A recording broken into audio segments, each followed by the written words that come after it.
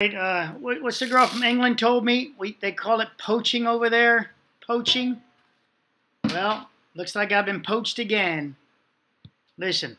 Car ended. See, so the shearing ended right along the side window of the lobby here. See what do you how guys it had think? a perfect shear right along space number 48. What does that sound like to you guys? And now all of a sudden, went from palm trees to here to right exactly. Pretty soon it'll be right at my BMA, right? We'll be talking about my BMA. We got the other guy talking about my puncture. We got Mike Bell and the other guy poaching my my uh, my, uh, my my failure as far as crippling the inside the deck ledger failure. And now we have this one doing it twice. This video's got it there, my shearing and my deck ledger failure. Let me let me right here. Look at this, the deck ledger failure, pushing in there, crippling a column. Man, th- this is disgusting.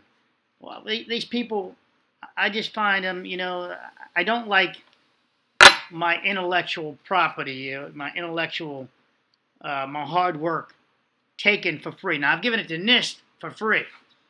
NIST asked me, could they use it? Yes, NIST can use it for free. They can make renderings, they said, their own version of it, and they don't have to give me credit, they said. I agreed. I said, go, go ahead, go right ahead.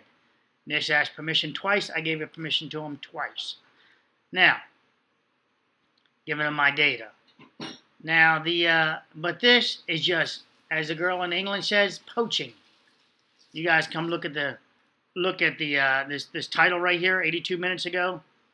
I, I just, ah, you know, it makes me want to not do any more videos on this content here. Just leave it at the BMA guys and and not give you any more data because I'm tired of being poached. I'm tired of being, you know, I spent a lot of energy on this, and then you get these people with hundreds of thousands of viewers, 236,000, poaching your stuff and claiming they stay up to 3 a.m. in the morning figuring it out, is what he states there or whatever.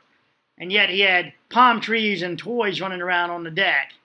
And now all of a sudden he's talking about my, the deck collapse, pulling it over, and my other one. He's hitting on both of them in my in my one video. How it works his way from the garage shearing over to there. You're talking about poaching. I just feel I feel so ah. I feel like you know poaching. That's exactly what I feel like. Like she told the lady from England told me it's called poaching. Mike Bell poached, stole it. The other guy over there stole it. Both of them. None of them have any content on this subject. And now we got the other guy saying puncture, puncture shear, the uh, the young engineer with the fat belly, him, you know, and pretty soon he's going to be right at my BMA and my, my same load path right there. If it's, if it's amygdala, we'll let him do it sooner than later. You already seen this guy do it, and the other two did it. So now we only got one. All he has to do now is jump in and finish it off. You know, I, I feel so fucked. This, this is disgusting.